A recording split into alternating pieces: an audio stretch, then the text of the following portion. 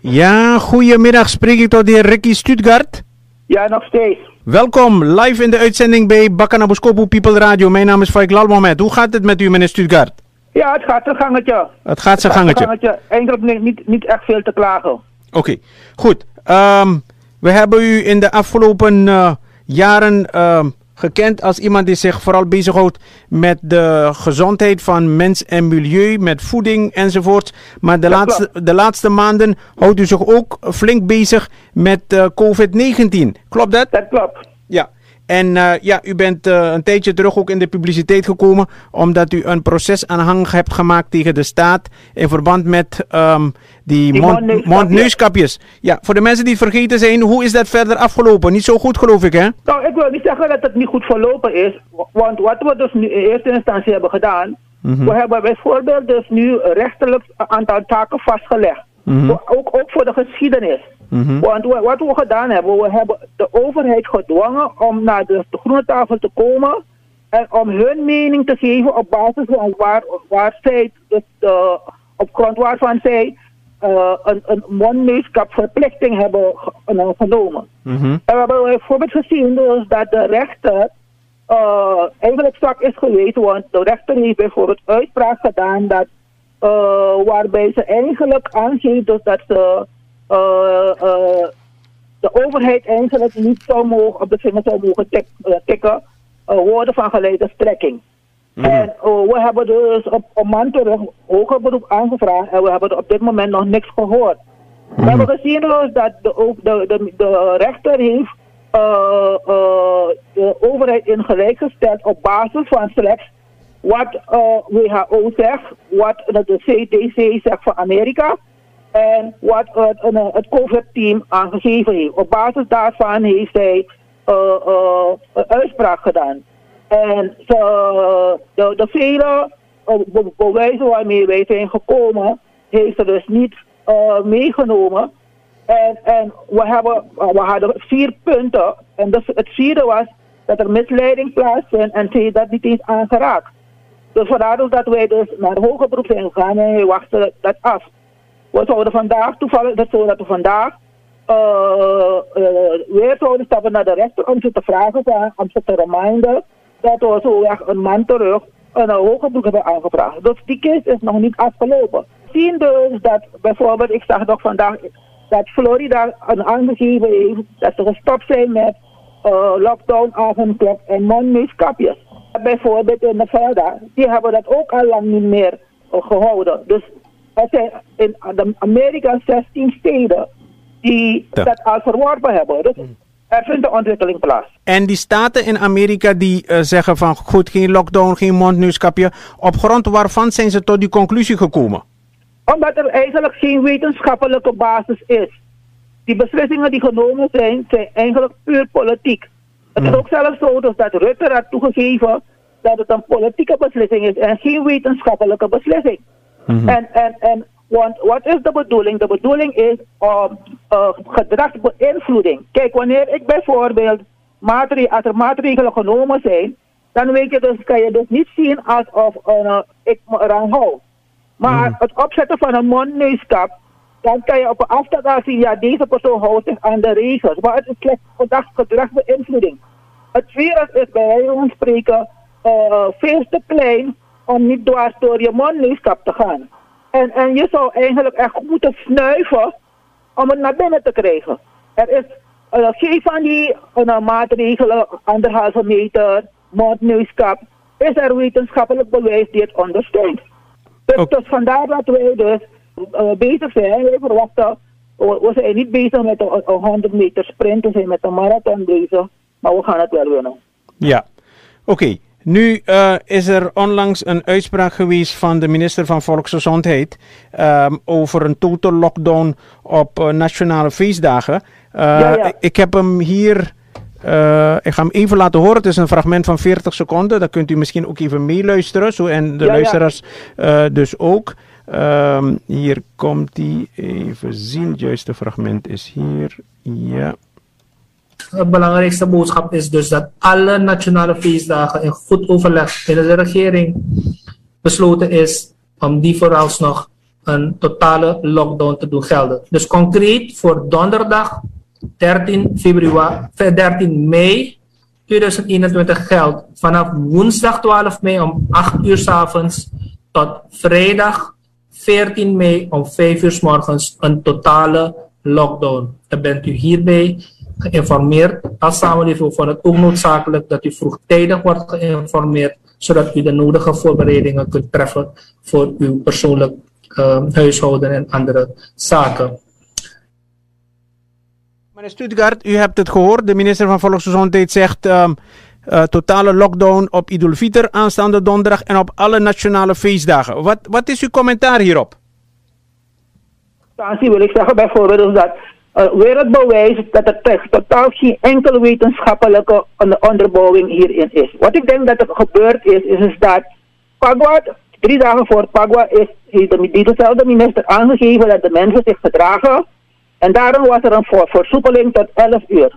Hij kan dus nu niet komen en, en, en, en uh, deze feestdag een, gewoon een total lockdown geven. Dus hij komt met een strategie waarbij hij aangeeft dus dat alle feestdagen die komen, die heb je een, een, een total lockdown. Dat is eigenlijk om, om mensen een beetje tevreden te stellen, gerust te stellen van dat hun een nationale feestdag, een religieuze feestdag geboycott is, maar die van de minister dus niet. Het is geen, er is geen enkele wetenschappelijke onderbouwing.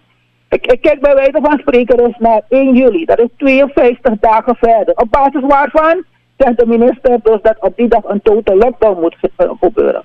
Wat wij als Suriname moeten gaan begrijpen is dat alle nationale dagen uh, en uh, nationale religieuze dagen, we hebben die dingen niet cadeau gekregen. onze voorouders hebben ervoor gevochten dat, dat er uh, Hindoe nationale feestdagen zijn, moslim nationale feestdagen zijn, christelijke feestdagen zijn, dat Kitty Kotti er is. Mensen hebben ervoor gevochten. Mensen zijn waarschijnlijk ook nog dood ervoor gegaan. En vandaag aan de dag, dan komt er een toevallige minister en die gaat met een pen alles wegvegen. Dat kan niet. Toch? Het heeft totaal niks te maken met COVID. Wanneer ik bijvoorbeeld ook kijk dus naar een, uh, uh, een situatie van COVID, voor 2021, want we hebben dus nu een ding om de doden gewoon door te tellen. Maar voor 2021 zijn er 52 mensen met COVID overleden. Ik zeg niet door COVID, ik zeg met. En daarmee bedoel ik, de mensen hadden een onderliggende aandoening. Ze waren al, hadden een verzwakt immuunsysteem. En dan nog een extra COVID-infectie. Daar heeft ze, uh, zijn ze eraan overleden. Dus met COVID. Dus dat is 92. Wanneer we alleen kijken dus naar de verkeersdoden in Suriname voor ditzelfde periode, hebben we 34, dus een derde van die COVID-gevallen. Maar we komen, er komt toch geen lockdown op straat? Dat doen we toch niet? En ik wil dus ook nog een andere vergelijking geven. Wanneer we kijken dus naar het aantal uh, COVID-doden met COVID uh, voor het hele jaar. We hebben het hele jaar zijn we dus nu 432 dagen. En er zijn 215 uh, personen gestorven met COVID. Dat komt op 0,94, sorry, 0,49 per dag. Dus nog niet eens een half persoon gaat per dag dood. Uh, hart- en vaatziekten, dat die hebben vijfmaal meer doden. Elke dag sterven 11 tot 12 personen in Suriname. En dat is 22 tot 24 maal meer dan die COVID-gevallen.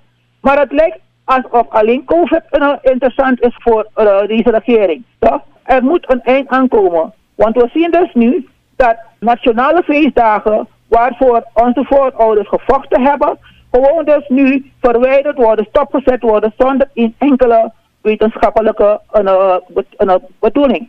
Ik persoonlijk verwacht dat straks de minister gaat komen en ons gaat zeggen van drie maanden lang total lockdown en niemand mag iets doen. Want wanneer ik zeg, dan ben je op rooien bezig. Dit kan niet, dit, dit mag niet. Ja. Er is wel degelijk een COVID-probleem, COVID-19. Er is er wel. Maar de mate wat wij aan het doen de manier hoe we zogenaamd met draconische maatregelen zijn, dat, uh, dat is te erg. Dat kan niet. En we zijn contraproductief bezig. Niemand kijkt naar de mensen die op die dagen niet kunnen verdienen. Ik denk aan bijvoorbeeld de winkel, het winkelpersoneel, barbiers, mensen van uh, de, de landbouwers, marktverkopers al deze mensen, elke COVID, elke lockdown dag, betekent dat deze mensen niet verdienen. Betekent dat deze mensen nog verder dieper in armoede worden gedrukt.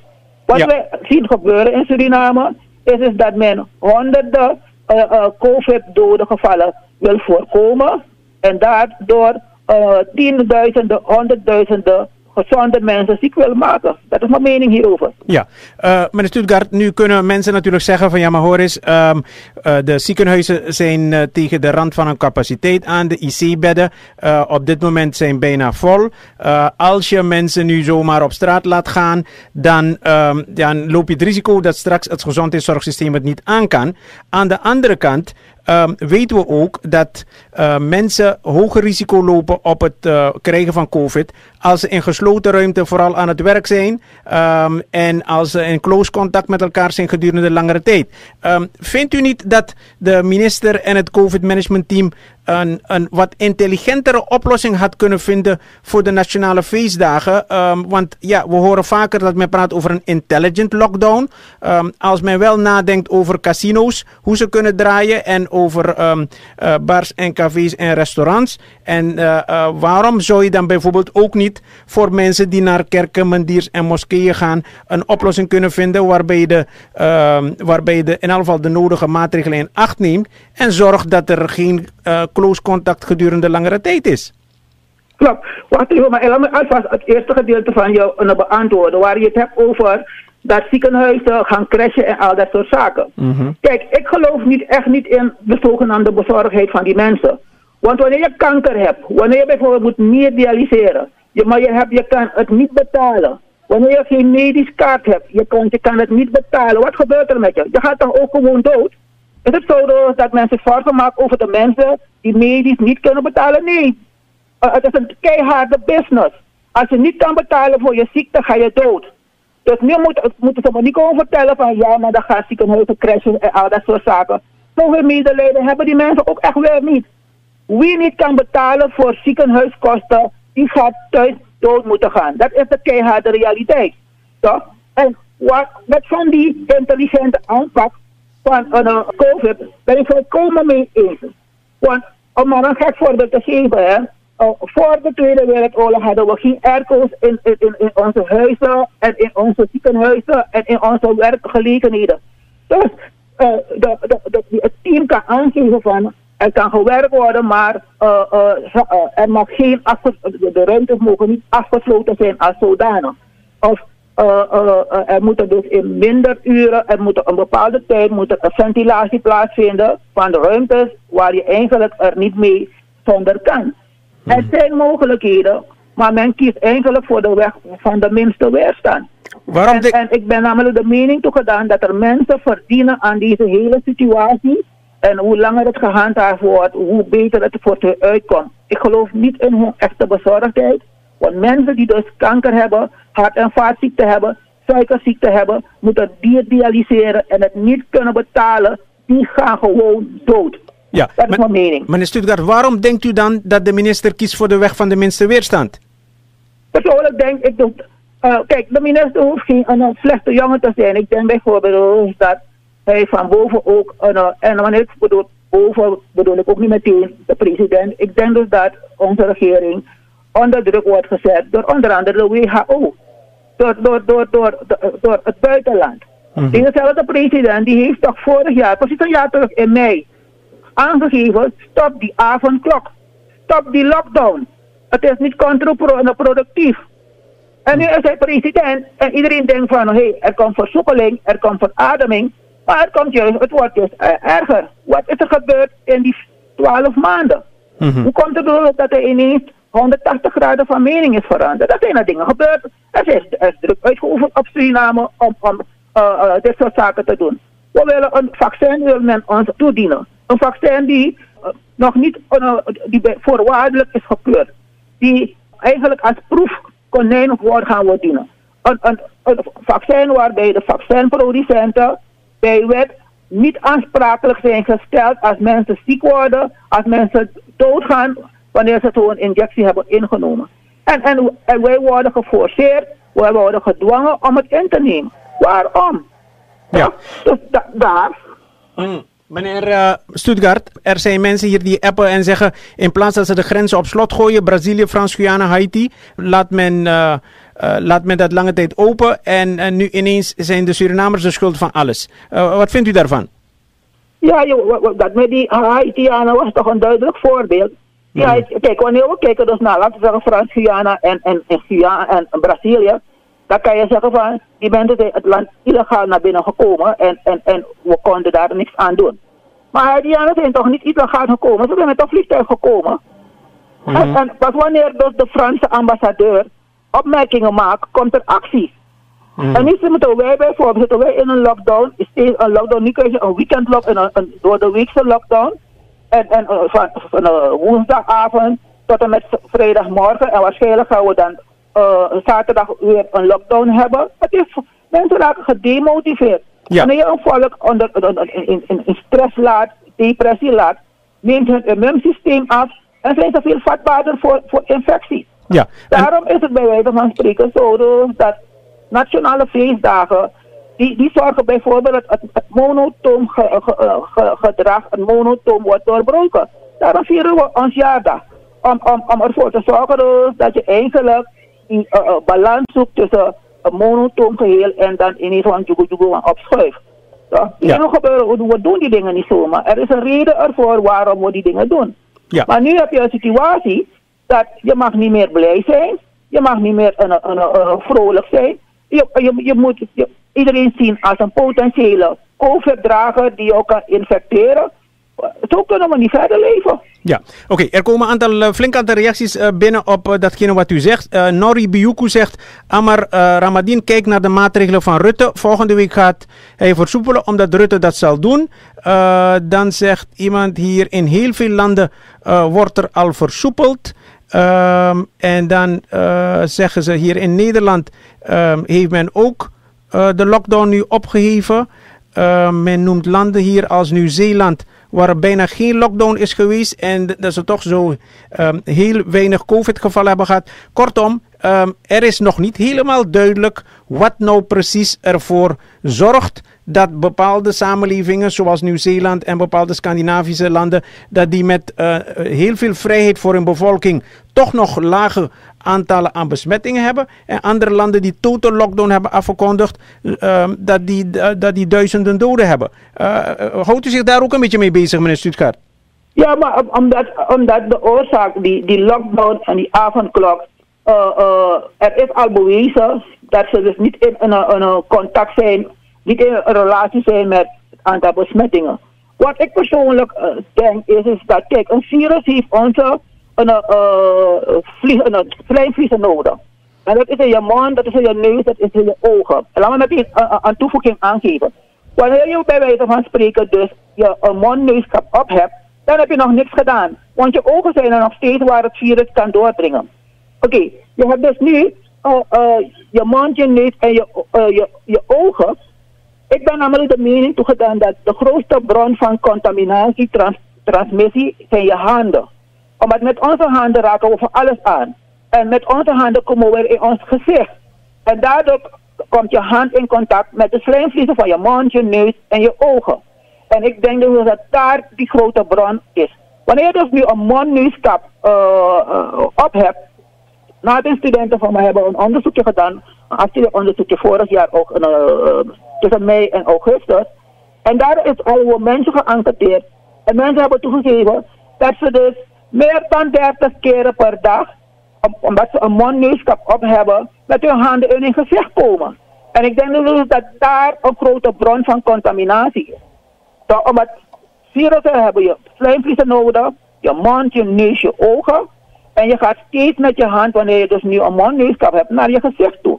Ik denk dus dat daar een, een, grote bron van contaminatie uh, ligt, wat men nog niet heeft onderzocht. Met een mondneuskap heb je nog steeds het probleem niet opgelost, want je hebt nog steeds de ogen, waar de slijmvliezen zijn, en eigenlijk ook je geslachtsdelen, hoor, laat me dat ook meteen toegeven, uh, waar uh, die virussen er doorheen kunnen gaan. Het is namelijk zo dus dat de kleinste bacterie is een 25 nanometer. Dus nanometer is eigenlijk 10 tot de macht 9 meter. -hmm. En die, die, die, een virus is nu zijn nanometer. Maar ik borp zag gewoon dwars door die maanden van een mondmeeskap. En die, die, die, die, die uh, katoenen mondmeeskappen. Iedere keer wanneer je het was, worden die mazen groter. En die, die medische mondmeeskapjes, dat mag je maar maximaal drie keer gebruiken. Dus drie uur gebruiken per dag. En daarna moet je het wegdoen. Want dan is het al te vochtig, is het niet meer geschikt. Dus wanneer je dus nu, uh, laten we even aannemen, 12 uur uh, onderweg bent, op, op straat bent, wat je even doet, dan moet je minstens vier van deze mondneusstappen gebruiken. Hoeveel mensen doen dat? Mm -hmm. Toch? Okay. Snap je dus? We, we, we gebruiken een mondneusstap dat niet werkt. Het is slechts voor gedragsbeïnvloeding, zodat mensen wijzen bijvoorbeeld van kijk, ik heb ook uh, uh, die, die houden zich aan zogenaamde regels. Oké. Okay. Daarom neemt het allemaal toe, omdat ja. het niet werkt. Tot slot, meneer Stoetgaard. Het is eigenlijk schijnveiligheid. Ja, tot slot, meneer Stoetgaard. Wat zijn de zaken die u um, voorstelt aan de bevolking om te doen om hun kans op het besmet raken met het COVID-19-virus te verkleinen? Oké, okay. ik wil alvast zeggen dat wij allemaal, uh, vroeg of laat, uh, geconfronteerd zullen zijn met het virus. Dat is hoe je elke, we hebben, wij allemaal worden wel een keertje griep, grieperig. En ik verwacht dus dat dat uh, bij het COVID-virus gaat gebeuren. 80 tot 85 procent van de mensen gaan het niet eens opmerken dat ze door het COVID-virus zijn geïnfecteerd. Een ander ding die ik ook nog wil aangeven is, is dat het is je immuunsysteem die het probleem moet oplossen. Ook al gebruik je de honderden vaccins, je vaccin is gewoon om je immuunsysteem te triggeren om dan antistoffen te produceren. Dus alvast het advies dat ik aan mensen geef is, versterk je immuunsysteem. Doe aan lichaamsbeweging, gebruik een gezonde voeding waarbij je vitamine C, uh, dat versterkt je immuunsysteem. Vitamine C zit in alle zure vruchten. Dat je uh, een zink gebruikt, dat, dat zit in noten, in granen, uh, graanproducten. Dat je of vitamine D gebruikt. Vitamine D, dat krijg je van de zon. Dus dat je elke dag een beetje in de ochtend van de ochtendzon geniet. Je moet vitamine B-complex gebruiken. Vitamine B-complex zit in alle dierlijke producten en in soja en gefermenteerde producten. En uh, uh, dat is om je lichamelijke huishouding goed te doen blijven functioneren. En wanneer ik praat over lichamelijke huishouding, dan praat ik over je eiwithuishouding, je vettenhuishouding, je koolhydratenhuishouding, je mineralenhuishouding, je vitaminehuishouding. Verder geef ik aan dat je veel moet lachen, dat je moet ontspannen. Want als je gestresseerd bent, verzwak je je immuunsysteem. En doe aan lichaamsbeweging. De hm. focus moet vooral zijn dat we onze weerstand, ons immuunsysteem versterken. Ik okay. verwacht en waarschijnlijk een aantal van die luisteraars die uh, nu naar uh, dit programma luisteren, dat ik aan denkbaar en de man rekenen hebben we gewoon normale griep. Mm -hmm. So, uh, het immuunsysteem was sterk genoeg en het immuunsysteem lost het probleem op. En okay. daarom gaat u ook zien dat, en laat me nog even aangeven, dat het immuunsysteem voor nu in roken. Want voor al die mensen die geïnfecteerd zijn geraakt, of besmet zijn geraakt, uh, 98,1% is beter geworden. Zonder vaccinatie en zonder medicatie. Toch? Dat, die, die cijfers worden veel te weinig gepubliceerd. Dus dat betekent dat als er een volk is sterk genoeg om het probleem op te lossen. Die 1,9% die met COVID doodgaat, dat zijn senior burgers, mensen die het immuunsysteem neemt al af. En als ze jonger zijn dan, dan 60 jaar, dan zijn het meer mensen met een onderliggende chronische ziekte. Het immuunsysteem is verzwakt. Okay. Het advies is je, je, je, je immuunsysteem versterken, uh, vrolijk zijn, je ontspannen, uh, je bezig zijn, lichaambeweging, gezond eten en geniet van de zon. En, sporten... en als je zegt van ik wil vitamine D nog extra gebruiken, die dingen als godsemulsie, die dingen als een ferrol compound, als 7C, dat zijn bijvoorbeeld producten die een voldoende vitamine D hebben om te helpen je weerstand te versterken. Oké, okay, en wat zegt u van uh, um, sporten in de buitenlucht? Ja, dus dat houdt lichaambeweging in. Mm -hmm. Oké. Okay. Ja. Goed. Uh, heer Ricky Stuttgart, mag ik u heel hartelijk dank zeggen voor uw bijdrage in dit programma. En ik wens u veel succes met uw activiteiten. En uh, ja, probeer toch even door te gaan met het uh, zoeken naar informatie voor wat betreft nou, echt wetenschappelijk bewijs ten aanzien van maatregelen tegen COVID-19. Fijne dag verder. 19. Fijne dag verder. 19. Fijne dag verder. 19.